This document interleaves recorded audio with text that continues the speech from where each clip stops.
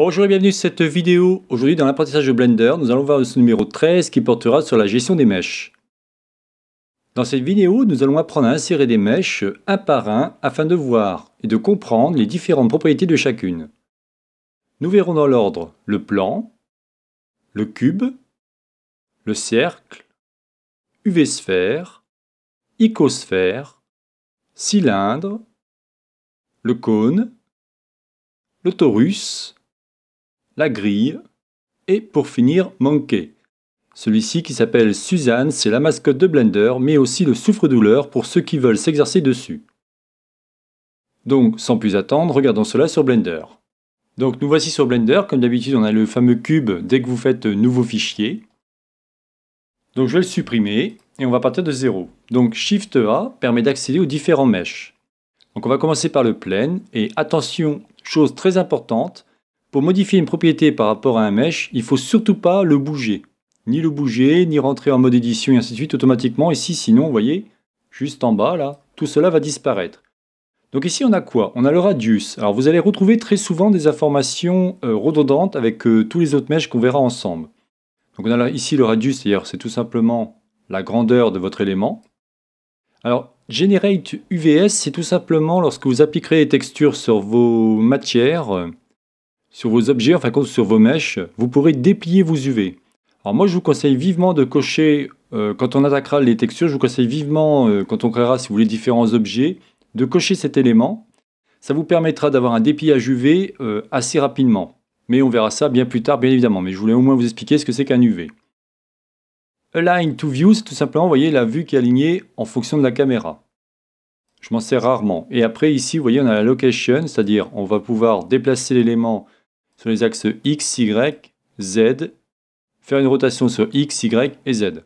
Rien d'extraordinaire. Comme je vous disais, par contre, vous voyez, si je rentre ici en mode édition et je reviens en mode objet, mon élément a disparu. Donc faites bien attention à ça. Je le supprime. Shift A, maintenant on va regarder le cube. Qu'est-ce qu'on a au niveau du cube? Bah, Vous voyez, c'est exactement pareil. À la différence, non, il n'y a même pas de différence, il y a même un élément qui a disparu. On a toujours generate UV, US, align to view, c'est-à-dire si je fais ça, vous voyez, mon cube est aligné, et ainsi de suite. Chose très importante, si vous rentrez en mode édition et vous voulez rajouter un élément, vous faites Shift A. Vous pouvez toujours sans aucun problème. Mais regardez, le menu a changé. En fin de compte, comme vous êtes dans l'objet lui-même, c'est-à-dire que je peux rajouter par exemple un cube, et je vais le mettre ici. Mais vous allez bien vous douter que si je rentre ici en mode maintenant objet, ces deux objets font partie du même objet. C'est-à-dire que là, si vous voulez, euh, cet objet, pardon, je vais marquer numéro 1, vous puissiez bien voir, fait partie de celui-ci. Si par contre vous rajoutez un troisième objet mais décorrélé des deux autres, là vous pouvez. Vous voyez, votre menu est complètement différent. Ça me paraissait important de vous dire ça. Donc je fais Shift A. Maintenant, on va regarder le cercle. Alors le cercle, vous avez des choses intéressantes. Ici, vous voyez, on a des vertices par exemple. Vous avez le radius, et vous avez ici, donc là, toujours pareil. Donc vous vous rendez compte, c'est toujours la même chose. Quelque chose d'intéressant, c'est ici. On a nothing, qui veut dire rien, n-gone ou triangle. n-gone, ça remplit entièrement votre cercle. Alors, essayons de rentrer un petit peu en détail. Donc là, je, je le referai après. Lorsque vous rentrez en mode édition, on va faire CTRL Tab afin d'accéder au vertex. Rappelez-vous, il vous dit il y a 32 vertices. Ça veut tout simplement dire qu'il y a 32 points. Donc si vous voulez, chaque point va, permettre de créer ce qu'on appelle un edge. Regardez, si je me mets en edge, j'aurai bien ici différentes portions. Donc en fait compte, si je reviens ici en mode objet, je le supprime et je recrée un. Ici, vous aurez donc 32 vertices. Vous voyez, on peut, on peut les augmenter ou les diminuer. Chose très importante, lorsque vous mettez les vertices, faites en sorte d'avoir toujours un nombre pair. C'est très important. Ici, vous aurez la grandeur. Vous pourrez augmenter ou diminuer sans problème. Chose aussi très importante, sur Blender, on travaille très souvent en quadrangle. Alors, vous allez entendre très souvent des termes comme triangle, quadrangle ou alors n-gone. Bon, quadrangle, vous l'aurez compris, c'est 4 euh, côtés. Triangle, c'est 3 côtés. Et n-gone, c'est supérieur à 4 côtés. C'est pour ça qu'ici, on vous propose plusieurs choix. Soit rien, donc vous aurez strictement rien à cet endroit-là. Vous pourrez bien évidemment le remplir plus tard, mais ça, on verra ça bien plus tard. Soit ici, vous pourrez mettre en n-gone, ça sous-entend que vous aurez 32 côtés, puisque ici, enfin pas 42 côtés, pardon, parce qu'ici vous avez 42 vertices. Et si vous mettez ici triangle fan, vous aurez, regardez, je rentre maintenant en mode euh, édition, et là vous voyez, on a des triangles à la place. Attention, Blender n'aime pas les triangles comme je disais, surtout quand on attaquera les edge loops. Vous comprendrez de suite ce que c'est quand je vous expliquerai ça prochainement. Donc je reviens en mode édition, je le supprime, j'en crée un de nouveau et je vous montre.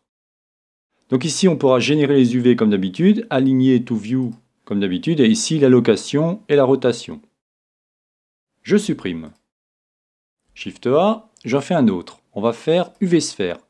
Donc celui-ci est créé de segments et de rings. Alors les segments, vous l'avez compris, ce que je vous ai montré tout à l'heure. Mais les rings, c'est quoi? Alors on va prendre l'outil ici, Grease. Je vais vous montrer. Ce qu'on appelle les rings, vous voyez, c'est ces trucs-là. C'est tout simplement mes lignes. J'en prends un autre, je vous montre. C'est tout simplement, vous voyez, c'est ça. Là, j'utilise ce qu'on appelle l'outil Grain Pestle. Ça aussi, on fera un cours, mais bien plus tard. Donc là, j'efface tout. J'en ai plus besoin. Bien évidemment, je reviens sur mon élément. Mais celui-ci, vous voyez, ayant été modifié, c'est foutu. Je suis obligé de l'effacer et recommencer pour vous montrer. Donc je reviens sur UV sphère et ici on a les éléments. Donc vous aurez compris, les rings, c'est tout simplement ici ces choses-là et les segments, c'est les éléments qui sont ici. Vous avez ici la taille comme d'habitude et vous pouvez aussi générer des UV si vous voulez ou aligner to view. Et ici, bien évidemment, la location, c'est-à-dire l'emplacement de votre objet. Je le supprime.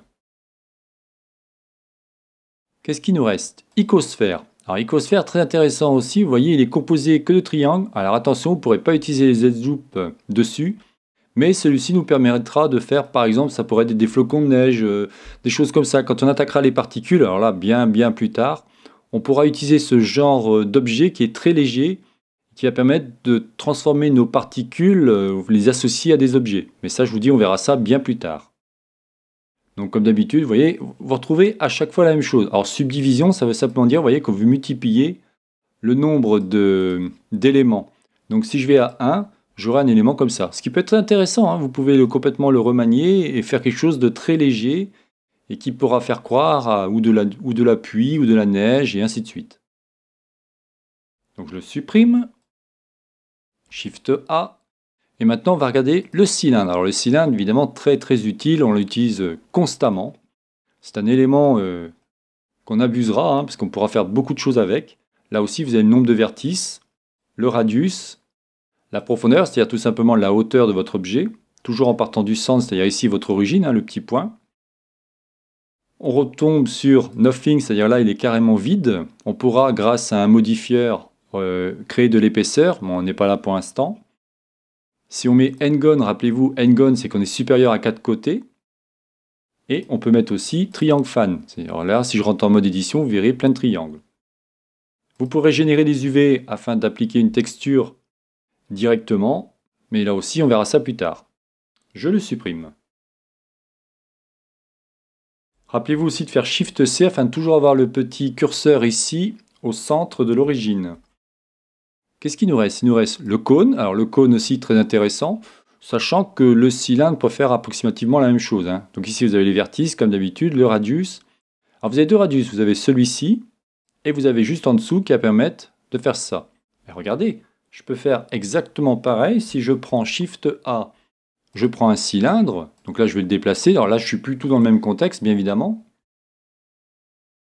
Ici, vous voyez, là c'est pas bon, donc je vais le supprimer. J'étais un peu vite je prends un cylindre et je vais le laisser pour l'instant. Vous voyez, si dès que je bouge, c'est foutu. Je vais le mettre en N-Gone. Vous allez comprendre pourquoi je fais ça. Je me mets ici, mode édition. Ce que je viens de faire ici, il suffit de passer CTRL Tab, je me mets en face, j'appuie. Là, je fais S pour scaler, et regardez, on peut faire pareil. Si je veux faire de l'autre côté, je clique dessus, S, et j'agrandis. voyez? Donc le principe est approximativement le même. Souvent, vous savez, Blender, il est composé de plein d'objets, plein de choses, mais euh, avec un peu d'imagination, on peut rapidement faire nos objets. Quoi qu'il en soit, ça peut être utile. Donc si je reviens sur cet objet, je le supprime, je vais le faire revenir, cône. Qu'avons-nous? Nous avons donc, comme je disais, le nombre de vertices, radius 1, radius 2, profondeur. Et après, vous voyez, c'est exactement la même chose. Je supprime. Alors à chaque fois, rappelez-vous, hein, touche X pour supprimer. Hein. Shift A. Taurus. Taurus, très intéressant. On va pouvoir faire là aussi des trucs très sympathiques. Ici, vous aurez donc euh, le nombre de segments. voyez? Donc on va pouvoir diminuer et faire euh, quelque chose de complètement... Euh, ça pourrait être une chaîne, par exemple. Ça pourrait être plein de choses. Là, encore une fois, hein, la seule chose qui vous arrêtera, ça sera votre imagination. Croyez-moi, quand on va commencer à dessiner des objets, c'est vraiment la seule chose qui pourra vous arrêter. Et surtout, il faut beaucoup, beaucoup, beaucoup de travail, beaucoup de patience. Et surtout, bien connaître les bases de ces outils. C'est vraiment très important. Une fois que vous avez bien acquis les bases, vous pourrez faire de très belles choses. Donc ici, qu'est-ce qu'on a? Alors on a Generate UV, Align to View. Allez, si je clique ici, voilà. Ici, on va pouvoir modifier comme d'habitude. Le nombre de segments, vous voyez, comme je viens de faire à l'instant. Mineur ou majeur, c'est-à-dire si je, si zoome bien, vous allez voir que au niveau mineur, vous voyez, on multiplie, donc on modifie la forme. Ici, vous avez euh, le radius externe, ou si je clique ici, on aura le radius major ou ce qu'on appelle interne ou externe, donc major ou extérieur. Vous voyez, il suffit de modifier là. Amusez-vous à jouer avec, hein, vous verrez très rapidement comment ça fonctionne. Très bien. Je supprime. Qu'est-ce qui nous reste? La grille. Alors la grille, très intéressante. Très intéressante si vous voulez faire des paysages. Alors là, on est en subdivision, alors là vous verrez rien. Imaginons, je vais faire un peu plus de subdivision, allez on va dire 20 euh, par exemple. Vous allez vite comprendre pourquoi. donc 20 en X et 20 en Y. C'est tout simplement si vous voulez, alors je vais prendre l'outil euh, comme tout à l'heure Graze, donc je me mets ici et je vais vous tracer des traits. Parce que si je rentre en mode édition, c'est foutu. Donc je trace un trait. Alors attendez, je prends ça, hop, ça fait des traits comme ça si vous voulez, voyez. Un trait, Deuxième trait, bon je vais pas tous vous les faire. Et on va faire dans l'autre sens. Vous avez quelque chose comme ça.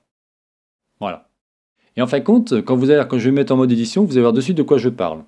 Donc ici, vous pouvez là aussi générer, donc vous avez la taille, hein, bien évidemment, vous pouvez augmenter ou diminuer, générer des UV, aligner tout view. Passons en mode édition. Et regardez ce qui se passe. En fin de compte, vous allez pouvoir créer des terrains avec cet élément. C'est-à-dire que vous avez tout simplement un plan qu'on a pu subdiviser. Alors là aussi, on peut utiliser un plan et par d'autres techniques subdiviser le plan. Bon, c'est tout simplement un raccourci, on va dire, ou une amélioration d'un outil. Rien de plus. Et ça, on fera ça avec l'outil euh, proportionnel, c'est-à-dire qu'on utilisera le, grab, donc euh, le mouvement, en fin de compte, pour récupérer.